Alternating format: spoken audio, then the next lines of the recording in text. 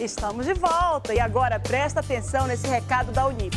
Subir na vida não é fácil, mas quando você escolhe o caminho certo, é possível superar todos os obstáculos. E na Unip você pode. Na Unip você faz a sua graduação num grupo educacional presente em diversas cidades do Brasil. Estuda com professores qualificados, numa estrutura completa e pagando mensalidades a partir de 139 reais. É isso mesmo que você ouviu, com mensalidades a partir de 139 reais. É o melhor custo-benefício do mercado. As inscrições para o vestibular da Unip são gratuitas e podem ser feitas através do site www.aquivocepode.com.br. Se quiser mais informações, ligue agora mesmo para 0800 725 0045 e tire todas as suas dúvidas. E sabe o melhor de tudo? Na Unip você sabe exatamente quanto vai pagar por todo o seu curso e termina a sua graduação sem dívidas e preocupações, pronto para enfrentar todos os desafios do mercado de trabalho. Que você está esperando? Não perca essa oportunidade de mudar de vida. Inscreva-se agora mesmo, venha para a Unip, porque aqui você pode.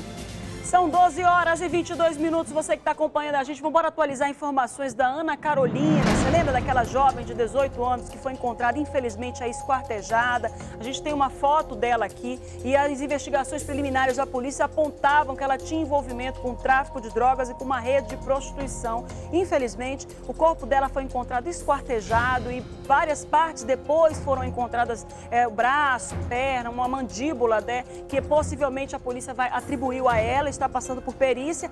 E, enfim, uma pessoa foi presa que se entregou suspeito, uma pessoa suspeita, acabou se entregando à polícia e assumiu a responsabilidade aí de envolvimento nesse no homicídio da Ana Carolina. Esse aqui é o homem que acabou se entregando à polícia e ele é considerado suspeito. A gente vê o delegado aqui nas fotos, o delegado Ivo Martins já faz, tomando o primeiro depoimento, fazendo essa investigação aí. Ele assumiu no primeiro momento que foi o autor do homicídio da Ana Carolina aí e a polícia só vai confirmar se ele realmente realmente teve envolvimento com o homicídio dela ou não, a partir das informações que ele mesmo presta. É importante dizer para você que a polícia, durante aí as investigações, dá uma certa publicidade dos fatos à, à imprensa aí, para a gente poder tentar chegar aos autores do crime, mas algumas informações eles omitem para poder se chegar ao verdadeiro autor, que ele pode ser aqui um costa larga, né? Ele pode estar ali assumindo e na realidade ele não teve nenhum envolvimento, não teve envolvimento com nada. A gente não pode esquecer que tem aí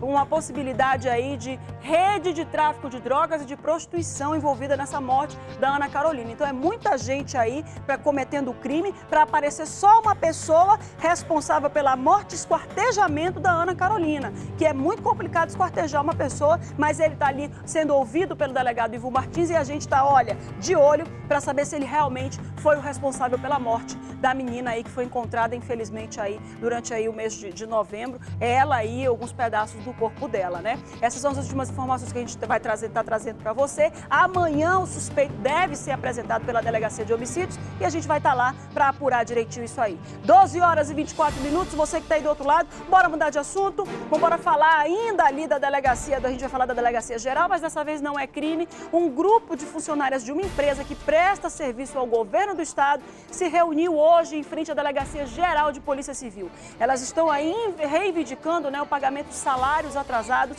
desde setembro, além dos vales alimentação e transporte e ainda férias. Você vai acompanhar toda a matéria completa aí no Jornal em Tempo, né, que a gente vai trazer para você. São investigação aí as funcionárias que estão reclamando é, o atraso salarial, tá reclamando aí que não foi pago o ticket de alimentação, pelo menos o ticket, minha gente deposita pelo menos o ticket, porque o pessoal precisa, precisa comer aí, né, e tal. E aí elas estão aí reclamando, fazendo essa manifestação. E aí é, a gente vai trazer outras informações para você ainda nos nossos telejornais, logo mais às 6h20 da noite, no, no nosso Jornal em Tempo. Volta aí um pouquinho essa nota que eu não acabei não vendo. A gente está vendo aí a empresa está se manifestando, dizendo a empresa, a empresa Aldri Serviços Limitada, informou que apenas os salários estavam atrasados e que a situação deve ser regularizada hoje, quando o governo do estado liberar recursos para a empresa. Essa aí é a manifestação da empresa e a gente espera aí que se chegue a um consenso. Né? A empresa diz que não recebeu do governo, aí as, as funcionárias não estão recebendo, né? Eu quero dizer que a responsabilidade, o ônus do negócio é do proprietário da empresa, né? Receber do Estado aí, fornecer o serviço é outra história, ele pode cobrar, mas não pode deixar os salários das meninas aí atrasados, porque aí também é para acabar. Vamos lá, são 12 horas e 26 minutinhos, você que está aí do outro lado. Vamos trazer mais informações de polícia? A gente vai trazer essa, polícia, essa notícia agora de, de Presidente Figueiredo, né, diretor?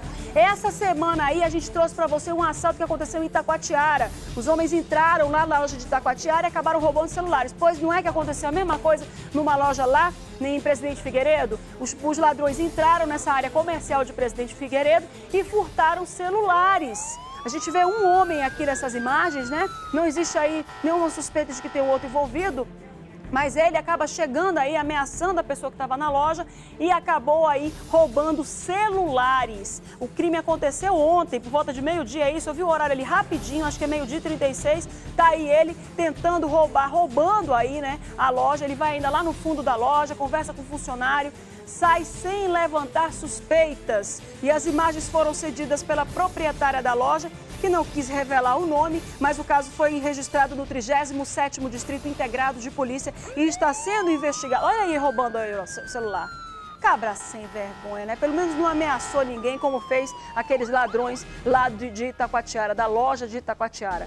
Tá aí, ó, levou um monte de celular, ficou aí andando pela loja, roubando o telefone da loja, saiu sem levantar nenhuma suspeita. Pelo menos isso. Cadê? Você vê aí a hora, olha, que ele, que ele acaba roubando ali o telefone, ó. Você tá conversa ali, tudo, bate um papo, aí vira pro lado, olha de novo, vê que não tem ninguém olhando, né? Olha ali pro fundo da loja, vai lá, vai passar a mão, vai passar a mão. Preste atenção. Vai pegar agora, pegou.